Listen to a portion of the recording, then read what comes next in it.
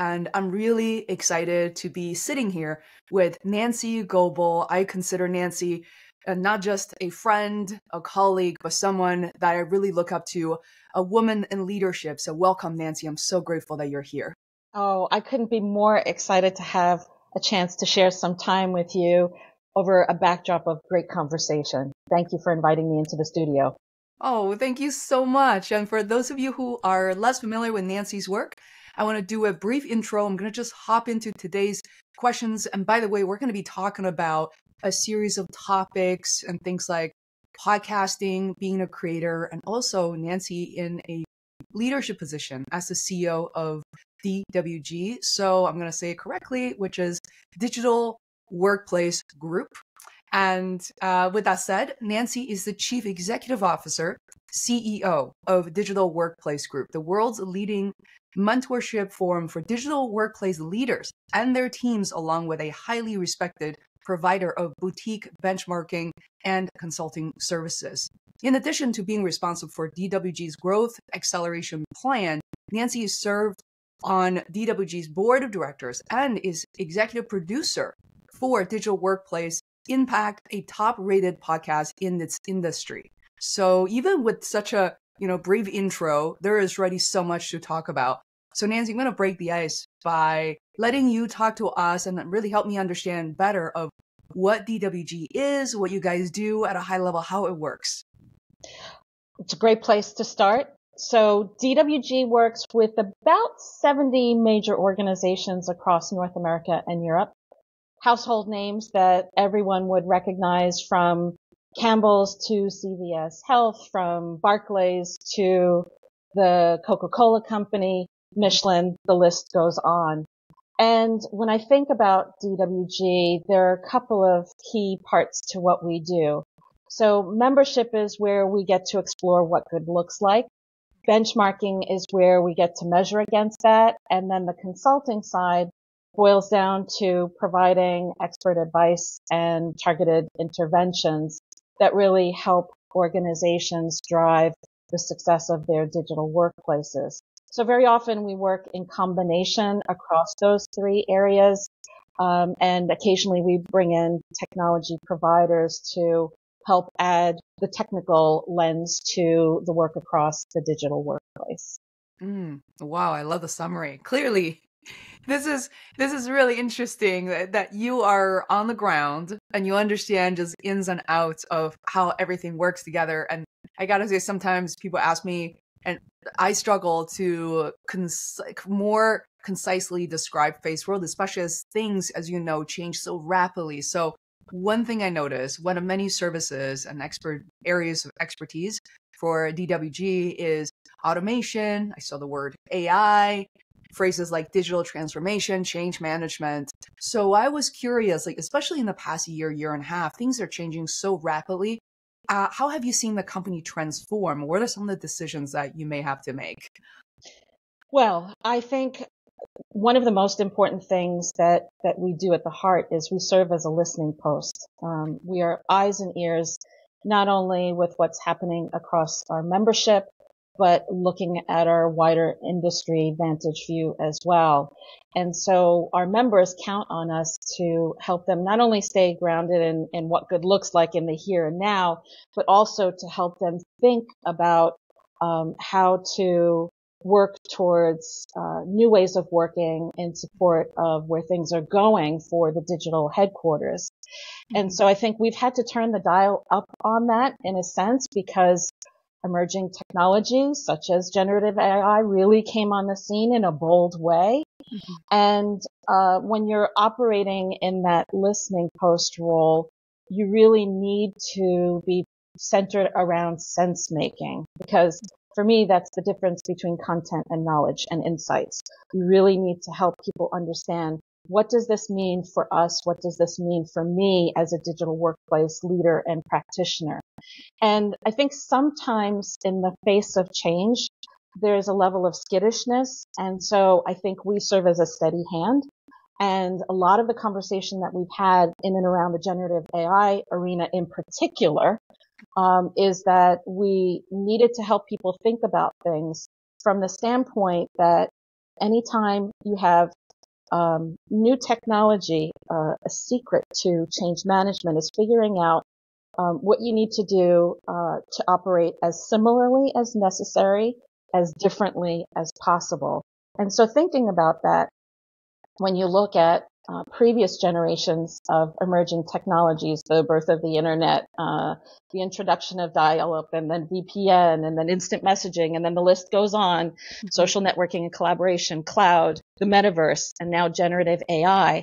I think sometimes you need to look to the past um, in order to go forward. In fact, when I put out predictions for the digital workplace for this year, um, I always cap off the predictions um, with a super prediction and recognizing that's where we are at the moment. Mm-hmm. Um, I referenced an iconic film, Back to the Future. Why?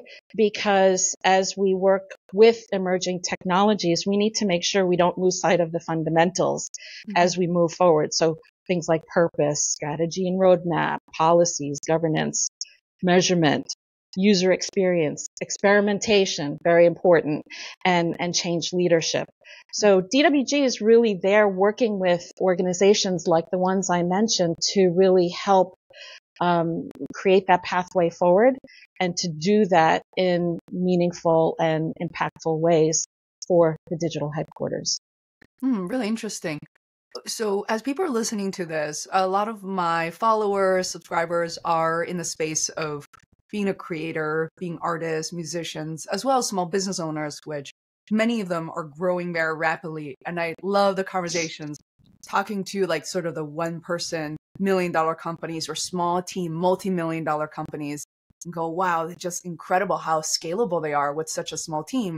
Um, what would you say when it comes to DWG? We're hearing a lot of at least medium sized to many enterprise companies you know who are currently the the makeup or is there a place for smaller business to also take advantage of your products and services? I'm just curious. Yeah so we're primarily working with fortune 1000 or equivalent organizations. However what i would say is that almost every organization at this point has a digital workplace, good, bad, or otherwise. Mm-hmm. Um, most organizations have a level of digital capabilities that they're using in servicing clients and getting work done and um, certainly generative AI is is all around us at the moment. And so, um, while we're primarily working with large enterprises, I always think that there are insights that others can draw from, mm-hmm. um, and you know things like um, our digital workplace impact podcast or research that we're sharing mm-hmm. can help um, even smaller or medium-sized enterprises think about uh, what's needed next as they continue to look for new ways to service their clients and customers. Mm, great. Yeah. Uh, you know, uh, one thing I didn't even plan on asking, but in terms of the Gen Z workforce and young millennials, um, just like it triggered me to want to ask that what are some of the things uh, that DWG may be thinking about or doing to kind of rope them in? Because uh, I talk to a lot of leaders, and one thing is that that you know, given what has happened in the past four to five years, and you know, Gen Z is kind of graduating from college, it's really hard to provide a level of training, even face-to-face opportunities that someone like myself once had. So, mm-hmm. just wondering if you have any insights or kind of stories to share there. Where this is not your area and don't worry about it. Well um, a couple of thoughts spring to mind. At the heart dwg is a professional development organization because we're exposing our members to key thought leaders and practitioners in the industry, mm-hmm. really uh, synthesizing industry insights, uh, but at the heart, we're also connecting people to each other mm-hmm. who otherwise are working behind closed doors day to day. Mm-hmm. And so I think about um, the events that we've run and those have always been a powerful place for people to share their story. Mm-hmm. And it's easy to default to hearing the executive perspective only yeah. in those kinds of um, environments. Mm-hmm. However, um, we take time and care in working with our members to make sure that we create spotlight moments mm-hmm. for rising leaders and even those earlier in their journey uh, to be able to share their stories and their insights. So very often when we have our in-person events, as one example, mm-hmm. um, members will come as teams and give people exposure to the players who are essentially their peers. And so um, it's an opportunity for um, all generations, in essence, to come together and mm-hmm. share and learn from each other. Because I think they're not only opportunities um, for our Gen Zers to learn from those who've got a wealth of experience, but by the nature of um, curiosity and challenging, there's reverse mentoring and reverse mm-hmm. learning that happens very naturally as well. And promoting the idea of 360 learning mm-hmm. is, I think, a really key thing for us to do to bridge the generations.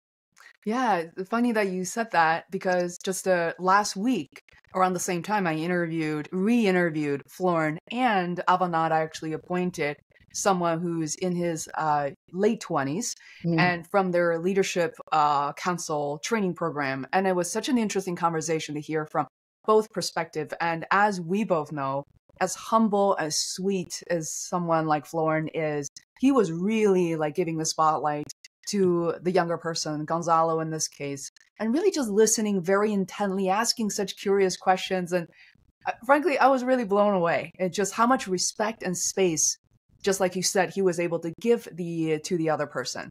Absolutely, Florin is is someone that I hold in in uh, especially high regard.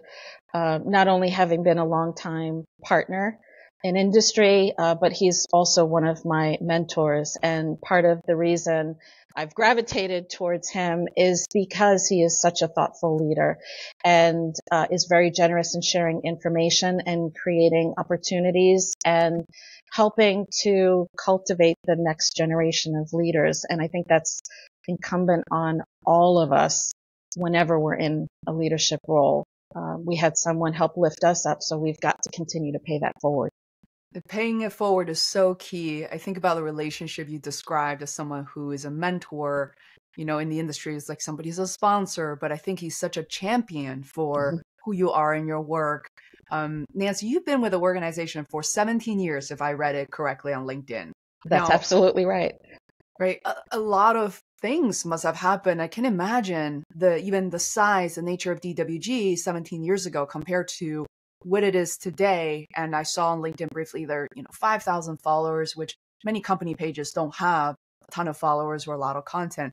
I wonder if you don't mind kind of walking us through your journey, some of the key points, how you got to where you are today, and, and really adapting all the changes that are happening mm. inside a company. That's something people don't talk about. It's like, okay, it's DWG. No, 17 years ago, it probably was a very different company. There's no question. And I have to almost start with uh, a preamble to say this is actually what I consider to be my second career. So I spent roughly 20 years in the corporate office at JP Morgan. So the first leg of my career was on Wall Street. And I have to say that one of the most powerful lessons that I learned in an organization like that was that um, I needed to build a special kind of currency.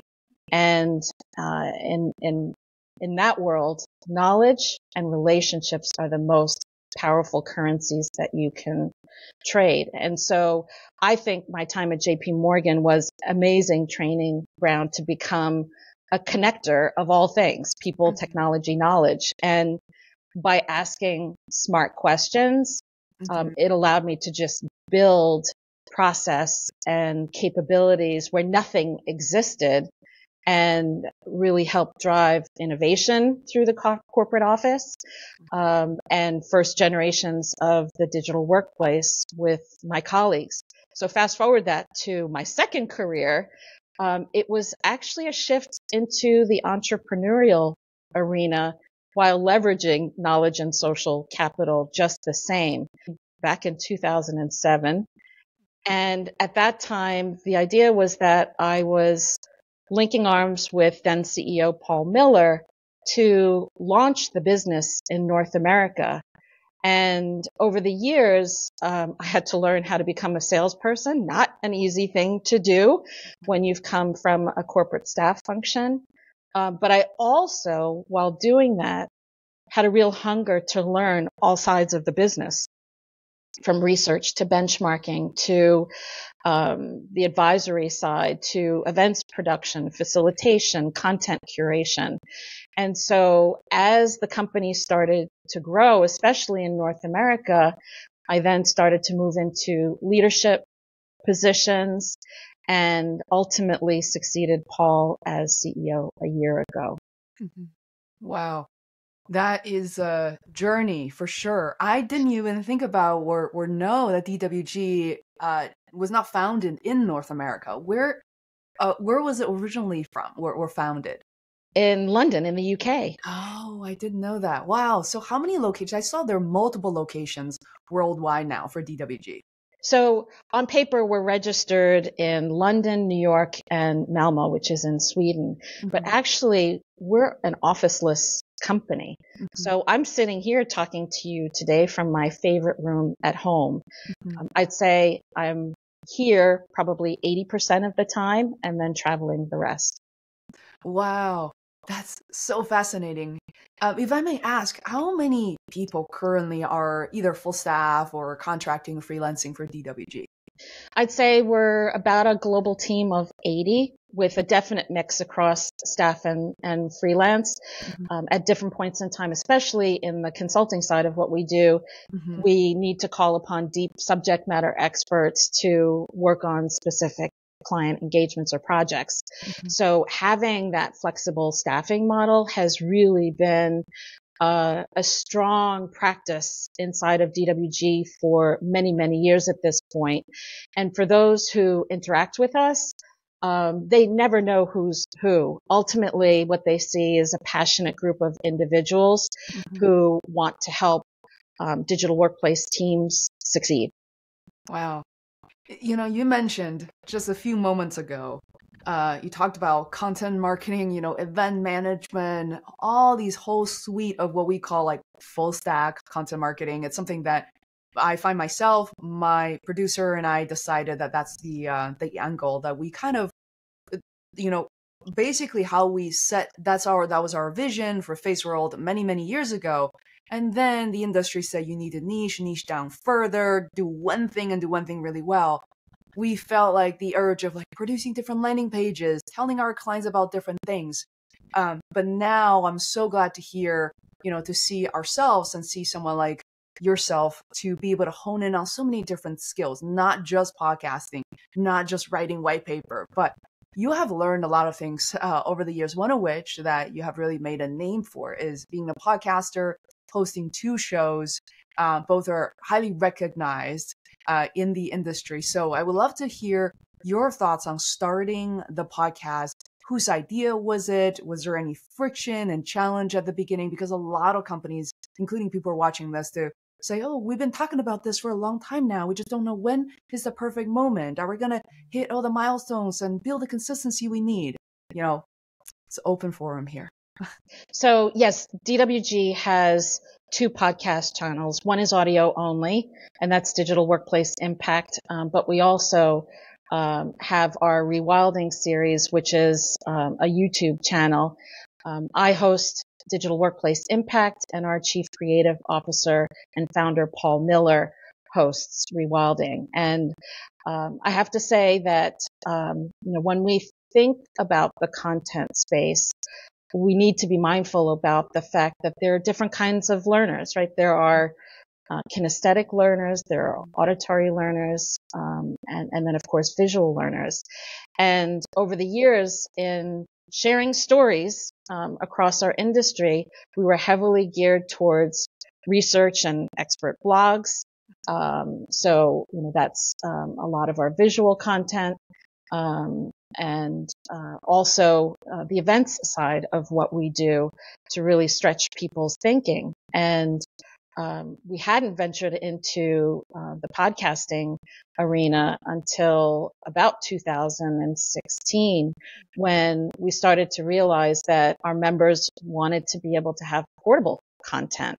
And we also wanted to be able to extend our reach on a thought leadership level.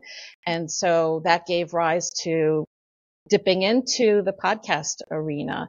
And I think um, it was easy in the sense that we're so well networked as uh, an organization that it was not only easy for us to dip into the people we already know, but by reputation, we were able to extend that and bring in studio guests uh, from major organizations around the world, um, as well as uh, practitioners of, of, various kinds. Mm-hmm. And so um, it became an important platform for us to give those stories of who's doing interesting and impactful work in our circles a level of life and attention. And in the process, it was also an opportunity to showcase what we do inside of DWG, which is not only giving people a vantage view of what's going on from a trend standpoint, but also to really help make sense of what's going on as well. So you started, you know, 2016 for the podcast. So that's still pretty early on. We started 2014 and we're considered sort of like almost veteran, like dinosaur podcasters by, you know, how people are considering that in this stage now. So what are some of the advice, learnings, tips, and tricks that you've come across uh, if you were to start a podcast today or to convince someone uh, that this is a good idea as a content marketing engine, as a vehicle for their businesses? So I think you have to start with great stories. Um, and making sure that you know who your audience is um, so you can bring the right stories to life. Um, the other is uh, to make it feel like a conversation, just like you do, Fei, oh, okay. uh, because uh, people don't uh, just want to hear, uh, you know, a ping pong match of question answer, mm. but there's a level of enriching the conversation by reflecting, by sharing, by probing. Um, so that's an important part of really giving layers to a story. Um, the other thing is to think about um, ways to make that content accessible. Mm-hmm. So uh, we always make sure that there's a transcript that's published alongside uh, the podcast, so that uh, whether it's because of language, because of cognitive issues, um, or uh, you know core accessibility needs, um, that transcript can help uh, with uh, people taking in uh, the insights and information as well. Um, the other thing is is thinking about how you spread the word. Uh, for mm-hmm. us, you know, our uh, key marketplace is really grounded in LinkedIn, so we promote each uh, episode very heavily mm-hmm. on social through LinkedIn. Um, so, you know, knowing where to find your customers and making sure they have access to your podcast mm-hmm. um, through those channels is important. Um, and then uh, taking time to celebrate uh, the studio guests who've come through because they've given you the gift of time. Mm-hmm. So each year um, I do a review of our podcast, and that's another opportunity to revisit some of the great stories and insights that have come to life. Um, so those would just be a few starter ideas on salient learnings that that I've had so far. Yeah, I was listening to one of your latest episodes, which is an aggregation of your favorite moments. I think there's like a 2023 review sort of episode that I really like where you voiced over the beginning. And that part, by the way, I think is very important for the host to have a voice. It sounds like, duh, it's a host. Host, you know, hosts always have a voice. Not always. I think, especially for a lot of female creators, I notice they tend to want to fade into the background. Mm. And I think we come through with some level of maturity and experience. Whereas a lot of the hosts, I hear this, it's like, oh, the show is not about me, it's about my guests. I'm like, no, it is actually about you because your name is on it. You're the starter of the show. You shouldn't disappear from your show. Mm-hmm. Um, and, uh, you know, there's no clear measurement. I don't think it's about like 2080 rule or how much the host should be speaking, but I think having an active presence is really important. I wonder if you have you know a thought uh, thoughts on that as well i know you're running a corporate podcast which there's also some level of complexity that a personal podcast doesn't have Yeah, I um I don't know that I necessarily stepped into it with a formula mm-hmm. per se, but I wanted to make sure that I struck the balance between um you know having um, the story come to life and also making sure that I'm reflecting. On the conversation as we go along and ensuring that my voice and my personality shines through as well because I'm the point of continuity mm-hmm. from episode to episode. And so ultimately it's not only about representing the DWG brand, um, but also my brand as, as an individual um, thought leader in our industry as well. And so making sure that my, my voice comes through and sharing my sparkle is all part of that equation. All part of the magic. Um, I want to talk briefly about long form versus short form. That is a very popular topic right now in this industry, content creation. And that's uh, a realm I've stepped into for the past couple of years. Something I didn't really bother, didn't really think about as much for the first, I don't know, like seven years of podcasting. But then later I realized, wow, sharing these sound bites, these clips, these moments that are keyword driven and having content calendars can actually be very helpful. Um, and then, you know, we produced uh, basically this tool called Pod Intelligence to make it way more sustainable. That you pour in 300 episodes, boom, here's a list of topics and the keywords associated with you know, collectively all the topics or individual topics. Um, have you experimented or tried with micro content in terms of you know producing maybe audiograms for the audio shows or uh, video clips from the the video content? Um, have you explored that?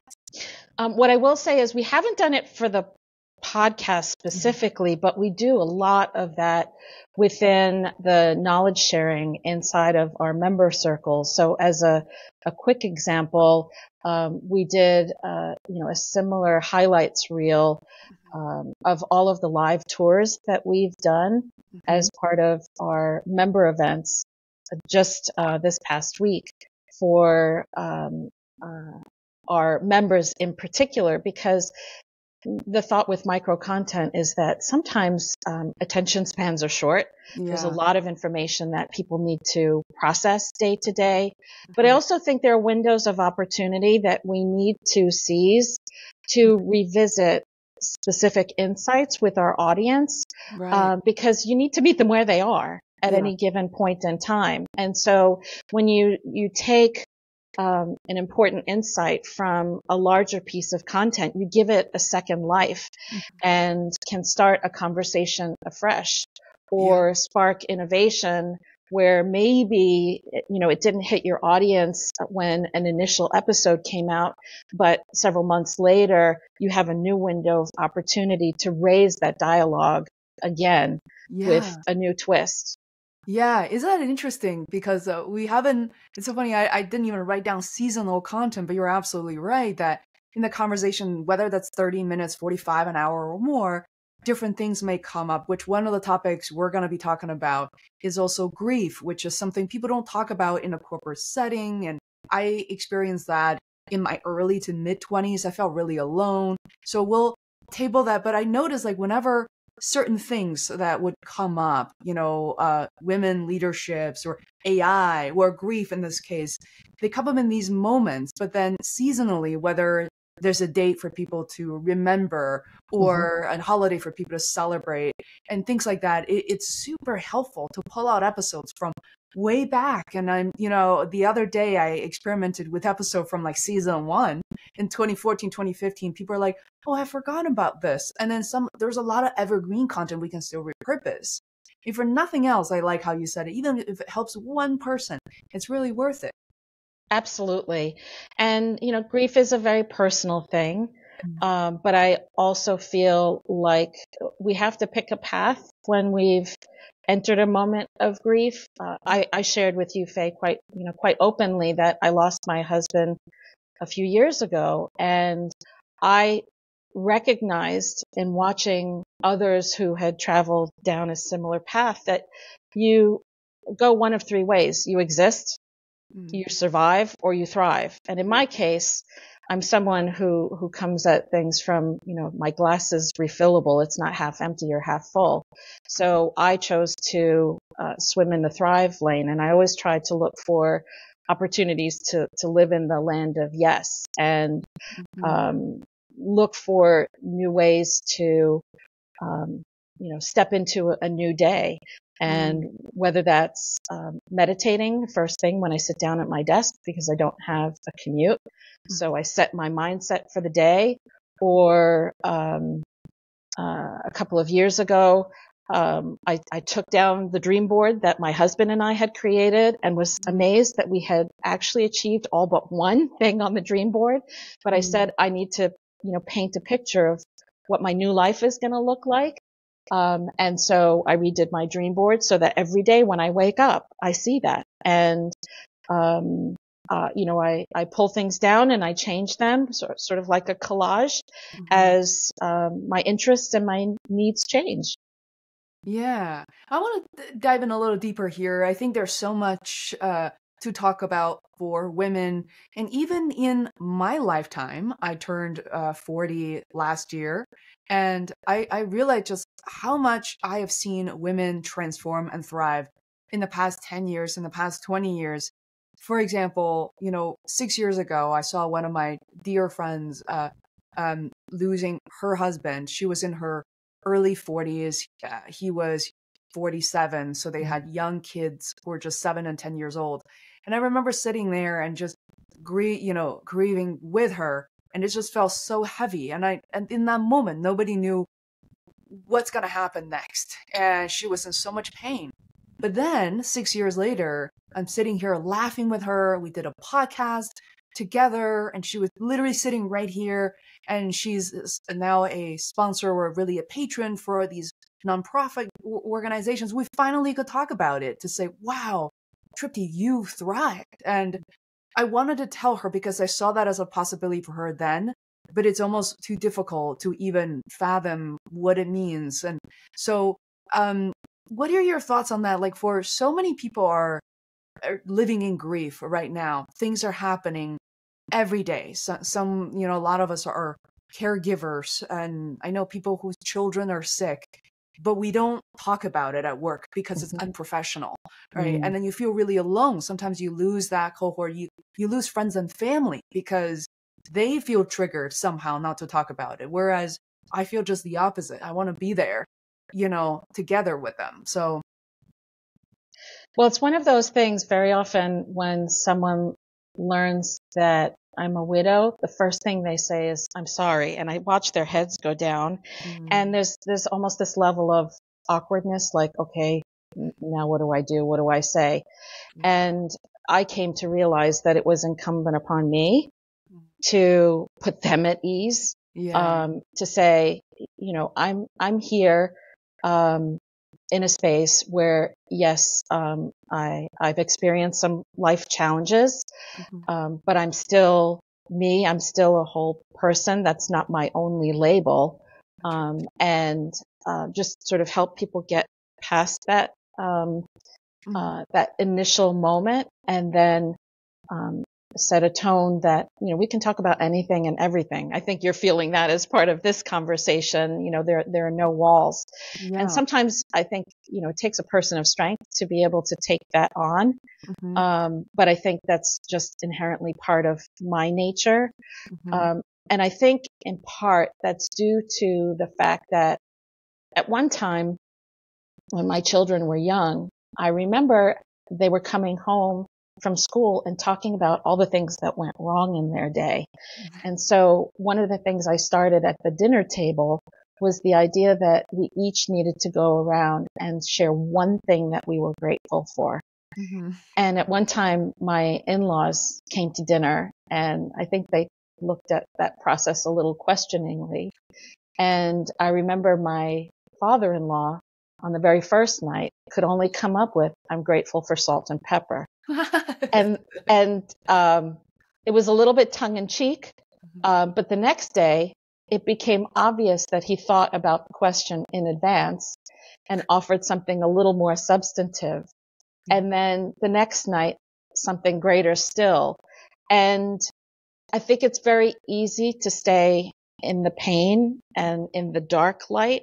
And sometimes if you take just one step mm. and just think about something that you're grateful for, it starts to create a pathway to happiness or at least being receptive to drawing in the light, so to speak. Isn't that interesting? When my dad passed away uh, after suffering is suffering very deeply for two years, he passed away when I was 26 and a half. And I just remember being in pain for so long, living in that dark place. But even, I, I should say that even before he passed away, what he was living at ICU for a little while, we laughed pretty mm. hard together. And there is that moment and almost a twist of me questioning myself should I be laughing right now? Is anything ever funny again? Like, am I disrespecting the moment? Am I not feeling the pain as much as I should be? And uh, that was really interesting. I think giving ourselves that permission to feel, to acknowledge the pain, but then coming through it to still living, living in love in, you know, in these moments, just let our natural, there's like a natural breakthrough. And if that makes sense, that it was really fascinating to me to reflect on that. I think that makes perfect sense. And I like to think that every time a loved one comes to mind, if you uh, think of a happy memory. Or you share a story with a smile, to me, that's the definition of heaven for them. Wow. So holding them in the light, holding those special memories and sharing them with a smile. And it sometimes takes a while to get to that point. Mm. Um, but you know, I, my husband comes up every day, uh, in conversation. And my family would tell you it's always with a smile now because yeah. I was very fortunate to have had my soulmate in my life. And I decided the day that he died that I would take the best of him mm-hmm. and the best of me and um, use that new person to carry forward with life. Mm, that's that's beautiful. Uh, that's really wonderful. So, Nancy, what's on your dream board now? I'm not, you know, I can't really see it. What is, what's on that plan? What's on that board? So um, I've got some uh, ambitions for what I'd like to see DWG to achieve in the next five years. Um, I've got some travel plans that I've uh, put up on the dream board um, but also um, some things that I want to achieve on an intellectual and spiritual level too. Um, you know, I think of us um, as individuals who operate um, sort of, you know, body, spirit, mind, heart. So I try to make sure that all of that is reflected in my dream board day to day. Hmm. That's beautiful. What are some of the travel destinations, if I may ask, that interest you in the, so, in the moment? Yeah, so the, there are two things that are are pretty prominent right now. Um, my bestie from college and I were talking about planning a trip together this year, and my family's originally from the Caribbean, and um, the political situation in Haiti is pretty difficult and has been for a long time. But she said um, over dinner in December, "Gosh, I would love to set foot on Haitian soil with you." And so the best thing that we could come up with is that um, there's a cruise that leaves out of New Jersey that stops in Labadie, um, which is uh, a beach area just on the edge of um, of the island. And so we're talking about that as a trip this year, so that a we'd get some quality time together, and b she would be able to set foot on Haitian soil. And the other is that um, my um, family ancestry is from France, and I haven't been back to Paris in a long time, and so um, I definitely want to put that on the list for this year as well. So both are up on my dream board as we speak. Wow. Well, since you can work from anywhere, not that you need to work while on vacation, but I just love the flexibility. You know, we worry about access this and where we need to be um, location wise. It's so flexible to know that if there's an urgent matter, somebody could call you. But you know, I, I think it's it's so interesting in the in the world that we live in now. Not just for we're not just looking for something that's convenient, that's something that's close by, but to have a plan. And I feel like what a great storytelling opportunity as well. I can envision you going on these trips, not mm. just going to places of interest and taking photos, but capturing a moment and living in the story that you'll be creating and writing in real time. So that's pretty cool. Yeah, it's one of those things you never know where inspiration is going to come from. Yeah. Um, last year, I went to a jazz concert with my mother, mm. and it was um, with Wynton Marsalis and the Lincoln Center Jazz Orchestra. Oh. And I just remember taking in this incredible set of arrangements and finding myself observing how he was leading the band. And I actually wrote an article about what I learned from attending a jazz concert. It was literally a case study in leadership. And so mm-hmm. I think it's, if you have an open spirit, mm-hmm. learning and insights can come from anywhere, whether it's uh, a workcation in Paris, mm-hmm. whether it's standing in the shower or yes, even attending a jazz concert.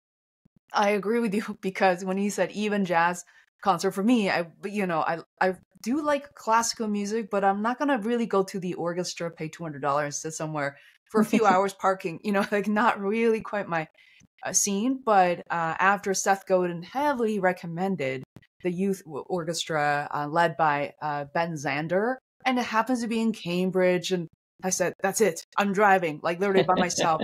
and in the rain, it's very dramatic, and and then literally the moment he played the notes, he described his passion. I was like, oh, I was bawling. I was like, why am I crying at an orchestra? It made no sense. But I was so inspired. I also wrote an article. I have to send it to Seth as well. Um, but thank you for bringing that up. I truly believe inspirations, whether it's leadership or otherwise, happen. And people who are listening or watching this, please note them down whether it's opening up a simple note um, app or something that you use to capture or on the back of the napkin, like please capture them because those things, those ideas tend to fleet very quickly. Like sometimes you just can't recall. Uh, how do you capture your ideas and inspirations, Nancy? That that should be my next question. I love a voice memo. Number one. Mm. Number two, I'm a sponge for information, and um, for years I've used Flipboard to curate uh, topics of interest. And what that. I've always done is I've peppered uh-huh. topics that I want to stay on top of for, for work and life. So there's, you know, there's everything from future of work and, you know, emerging tech mm-hmm. to, um, entertaining and cooking and all points in between. And so, um, you know, it's down to finding the, the tools that help make life easy mm-hmm. for you to capture the things that inspire you day to day. And of course, AI will start to make that um, even easier for us and um, help uh, even instigate some some questions we haven't thought about, mm-hmm. um, and and stretch our thinking that way too.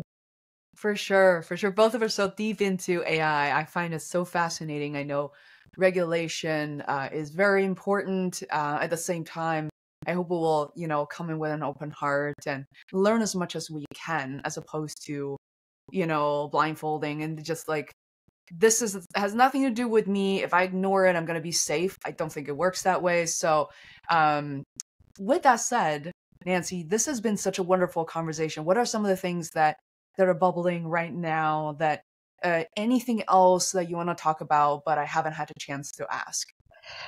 Gosh, um, well, I think that um, we've covered a real wide range of uh, topic areas, and um, I'd say this has been such a fascinating process for me because um, I approach a conversation like this both uh, as someone who's sharing my story, but but a student of the craft, and I have to say that so effortless. And for those who are contemplating um, how to expand their approach to content creation can just learn so much from the approach that you take day to day. So you've shared your sparkle with us uh, in many ways through this conversation.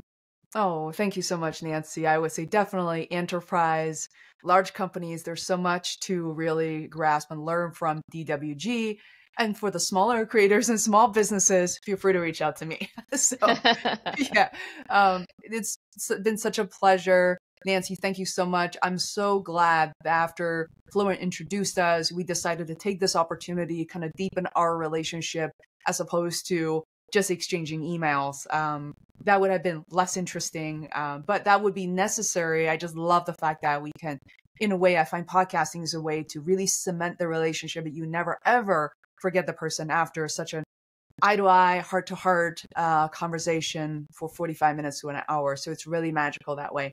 Thank you again so much for this conversation. Thank you so much. And of course, I was really touched when you introduced me as one of your friends. And um, I, I, look forward to nurturing that friendship over sure. the years to come. Absolutely.